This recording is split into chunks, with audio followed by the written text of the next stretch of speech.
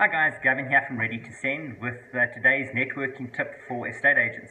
And today's tip is creating a website and social media presence for you and your brand.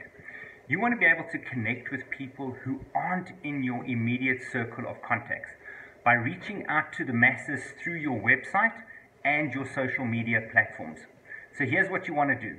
You want to make sure that your social media pages like Facebook is dedicated to your real estate business. You then want to post and tweet listings and real estate, uh, real estate tips as you come across them. You want to then monitor what others are saying and doing on social media um, to promote any opportunity for new business. You also then want to be able to keep your bio and your testimonials up to date on your social media pages and not forgetting your website. So now we're talking about websites. Your website, your domain name for your website is key to driving traffic to your site. So the first domain name that you want to register is your own name. So for instance, www.yourname.co.za or .com, depends on what you want to use. You want to then consider registering a number of additional domain names as well. These domain names are what uh, uh lead people to your website through a function called URL forwarding um, which directs multiple web addresses to one site.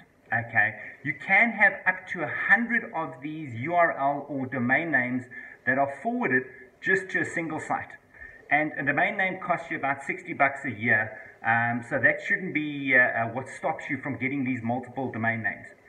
In addition to your original domain name, you can create names that describe your services or area. So, for instance, um, you want to register a domain name that features your hometown um, name followed by the words real estate or homes for sale. Uh, for instance, www.yoursuburbrealestate.com or uh, www.yoursuburbshomesforsale.co.za. You can also put your name in front of your hometown. Uh, for instance, www.gavinsells.homes uh, yoursuburbs.com. Um, you can also register names that feature uh, specific real estate areas or neighborhoods in your market.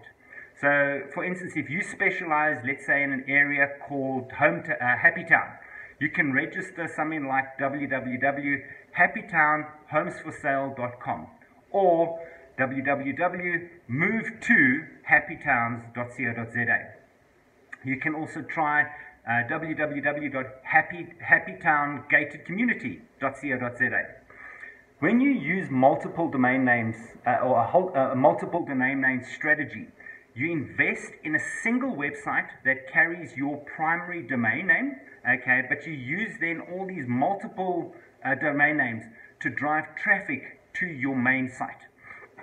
When online real estate shoppers enter a name of a hometown or a name of a specific uh, um, neighborhood in your hometown, chances are good that your domain name will appear in that search results. Guys, let me know what your thoughts are. Please leave your comments below and don't forget to like and share our page and this article with your colleagues in your office. Thanks for watching and ciao for now.